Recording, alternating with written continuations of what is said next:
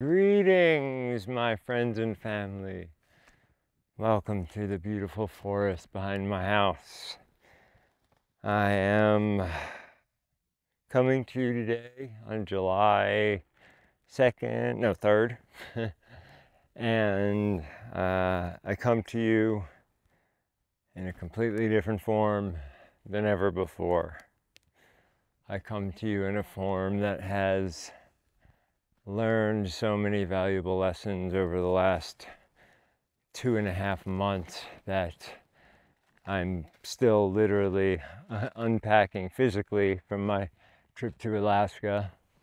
And uh, I am uh, unpacking the lessons I've learned over the past few months about everything from the way I was living my life to how much water I was drinking to uh, just all manner of things. And I'm so thankful to my elders and mentors for helping guide me through this transition. It's been a two year one, pretty rough.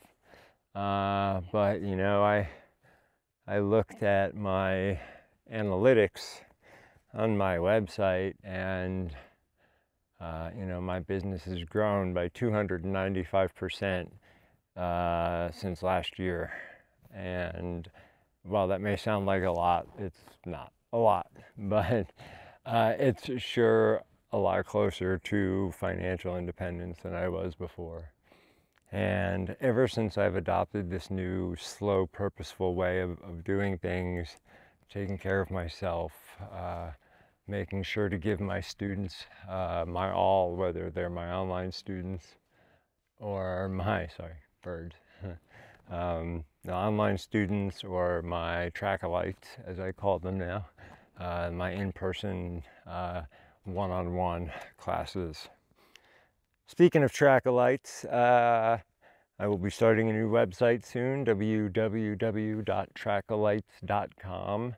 This is uh, an online primitive camp where you're, if you're taking an online class from me, whether it's a private one or a, uh, a, a, group open to the public one, each uh, group will have their own classroom where the recordings will be. We'll be able to chat.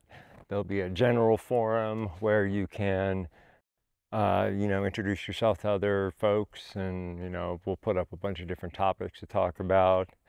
And it will also be used as a repository for uh, you know, books I recommend to all my classes, tools I use, things like that. And, you know, that stuff is on my, my normal website. But this website is going to be, you need login credentials to access it. Unless you are looking to book a consultation with me about setting up a private class, uh, either online or in person.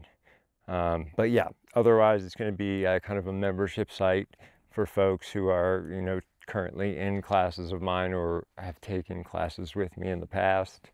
So you will, you folks will get a special email with login credentials.